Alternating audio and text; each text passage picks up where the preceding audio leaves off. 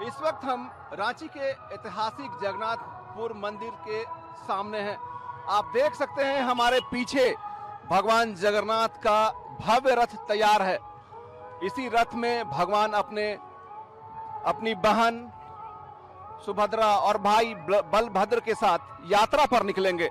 आप देख सकते हैं इस रथ को बड़े ही भव्य तरीके से सजाया गया है और जो पूरी का स्वरूप होता है रथ का उसी ढंग से इसे बनाया गया है। लोगों की भीड़ आप देख सकते हैं।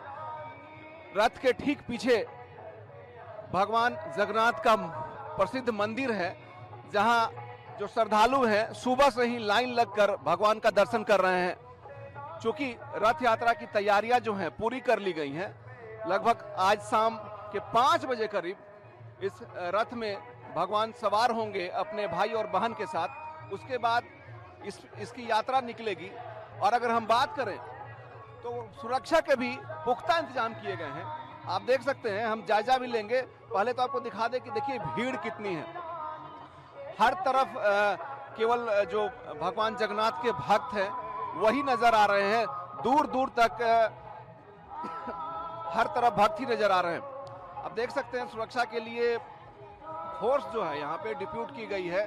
चप्पे चप्पे पर तैनाती की गई है ताकि कहीं से भी किसी को कोई दिक्कत ना हो। महिला बटालियन को भी लगाया गया है। इसके अलावा जो सीआरपीएफ आईआरबी रांची जिला बल हैं, इसके अलावा जो सीसीटीवी फुटेज के ज़रिए निगरानी की जा रही है और जो रांची के दो थाना प्रभारी का ये क्षेत्र आता है, एक जगन्नाथपुर से होता है और दूसरा धुरवा। दोनों थाना प्रभारी यहाँ लगातार मॉनिटरिंग कर रहे हैं क्योंकि अभी तो भीड़ देख रहे हैं। वो सिर्फ़ एक तिहाई भीड़ है। इससे तिगुनी भीड़ शाम तक जुट जाएगी जब रथ यात्रा निकलेगा। इसके लिए बाकायदा तैयारियाँ की गई हैं। हम बात करेंगे हमारे साथ जगन्नाथपुर थाना प्रभारी। जगन्नाथपुर थाना प्रभारी अरविंद जी हैं। सर क्या तैयारियाँ हैं? कैसा व्यवस्था किया गया है? पहले से भी सुबह से भीड़ है मंदिर में मूर्ति के दर्शन के लिए। उस समय भी चारों तरफ़ फोर्स लगाया गया है। लगभग एक हज़ार फोर्स मेला में डिप्लॉयड किया गया है। आगे मंदिर की भीड़ तो अब कम हो गई है मेला में भीड़ बढ़ गई है। अब रथ में जब निकलने का समय है तो उसमें रथ को सुरक्षित तरीके से ले जाएँ। वहाँ लोगों की जो भीड़ होती है उनको कंट्रोल करते हुए ये सारी व्यवस्थाएँ हम लोग कर चुके हैं। सीएम के भी आने की सूचना है। नहीं अभी तक ऐसी जानकारी तो नहीं मिली है। सीएम के आने की सूचना भी नहीं है लेकिन अनुमान लगाया जा रहा है कि लगभग तीन बजे के करीब सीएम पहुँचेंगे।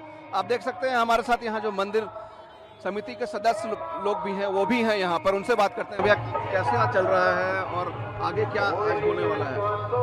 अभी तो ऊपर का पूजा हो गया है जितने भी दर्शन करने वाले हैं सो दर्शन कर रहे हैं श्रद्धालु लोग जितने भी हैं। और दो बजे जगन्नाथ स्वामी ऊपर से नीचे रथ की ओर आएँगे। और दो बजे के बाद यहाँ पर विष्णु सहस्त्र नाम होगा जो कि तीन घंटे का चलेगा। उसके बाद पाँच बजे के बाद फिर यहाँ से रथ का चलना शुरू होगा जो कि एक डेढ़ घंटा में अपना सफ़र वो तय करेंगे। इसके बाद भगवान मौसी के यहाँ जाएँगे अपने? यहाँ अपनी मौसी के घर जाएँगे मौसी बारी। वहाँ नौ दिन का सफ़र है इनका नौ दिन वहाँ रहते हैं। और नौ दिन के बाद फिर सोता है यहाँ पर। पूरे नौ दिन जगन्नाथपुर में उत्सव का माहौल रहेगा। भगवान अपने घर से निकलकर अपनी मौसी के यहाँ जाएँगे, वहाँ नौ दिनों तक प्रवास करेंगे। और आप देख सकते हैं, हुजूम उमड़ रहा है लगातार। भगवान के दर्शन के लिए फोर्स भी एकदम अलर्ट मोड में है। हर तरफ़ चप्पे चप्पे पर नज़र रखी जा रही है, ताकि किसी भी तरह से कोई भी गड़बड़ी ना हो। रैफ के जवान तैनात किए गए हैं। आपको और दिखाते हैं कि ये हमने बताया था कि यहाँ की मिठाइयाँ बड़ी प्रसिद्ध हैं। आप देख सकते हैं, यहाँ बालूशाही और गाजा, ये बहुत फ़ेमस है। लगभग 60 से 70 दुकानें हैं यहाँ पर, जिसमें लोग इसका स्वाद उठाते हैं। ग्रामीण इलाकों से अच्छी खासी भीड़ जो है यहाँ पे पहुँचती है और इन मिठाइयों का लुत्फ उठाती है। हम अपने कैमरा पर्सन परमानंद सिंह को कहेंगे कि ये जो पीछे दिखाएँ, वो पीछे वाला जो इलाका है, वहाँ मेला लगा हुआ है और तमाम तरह के झूले और बच्चों को लुभावने वाले झूले वहाँ पर लगता है। ये नौ दिनों तक चलेगा। इसमें कई तरह के जो सामान होते हैं, जो लोग रोज़मर्रा के जीवन में खरीदते हैं, वो सभी मिलता है और उसकी काफ़ी खरीदारी होती है। तो निश्चित रूप से अब सभी को शाम पाँच बजे का इंतज़ार है, जिस समय भगवान अपनी बहन और भाई के साथ रथ में विराजमान होंगे और फिर मौसी बाड़ी तक वे पहुँचेंगे और उसके लिए पूरी तैयारियाँ कर ली गई है। उस समय मुख्यमंत्री भी होंगे यहाँ पर। फूलों से वर्षा की जाएगी। भगवान के स्वागत में।